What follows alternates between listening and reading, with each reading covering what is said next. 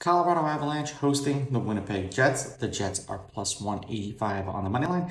The Avalanche are minus 225. The over-under is six and a half goals. The Jets getting a goal and a half are minus 135, meaning if you bet them that way and they win this game outright, you win. They lose by one, you win. The game goes into OT, you win.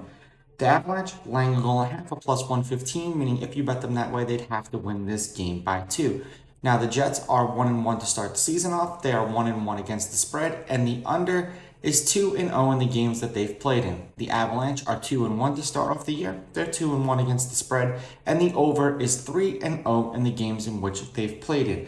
Now, head to head, the Jets won the last game they played against each other. The Avalanche are 7 and 3 against the Jets in their last 10. The home team is 6 and 4. The over is 6 and 4. The over 6.5 is 6 and 4. The favorite is 6 and 4 on the money line, and the underdog getting a goal and a half, ironically enough, is six and four, the four games that they won, and then two other games were one goal games.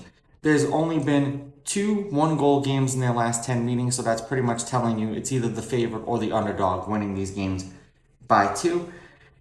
I'm going to go Avalanche with the money line, Avalanche laying the goals, and I'm going to go over the last three games that they've played against each other. Or if you want to go four, the Jets won four to one, the Avalanche won five four in overtime, the Avalanche won six to three, the Avalanche won 7 to 1. These are just my picks. If you disagree, please go with your gut and please bet responsibly.